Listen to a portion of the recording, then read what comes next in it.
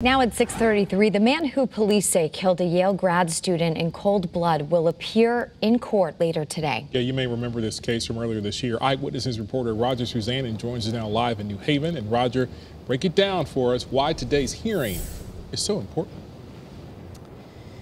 Yeah, good morning, Wendell. Good morning, Nicole. And you are exactly right. Today's hearing could be very important because a judge's decision could basically determine whether or not the defendant in this case gets out on bail before this case is actually resolved. And certainly we know a lot of eyes will be on the courthouse today because this case has been getting not just national attention, but international attention as well.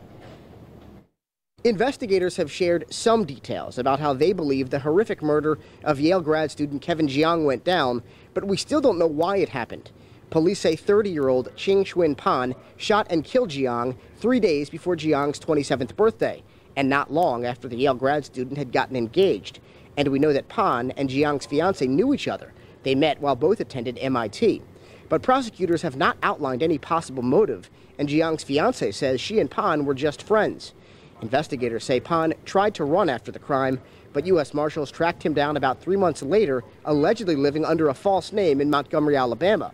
Now, back in Connecticut, he's trying to regain at least temporary freedom by arguing for lower bail. Right now, it's set at $20 million. His attorney wants to reduce that figure to about $1 million.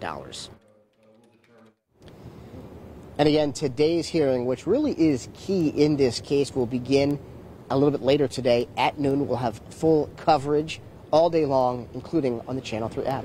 Reporting live in New Haven, I'm Roger Susanne, Channel 3 Eyewitness News.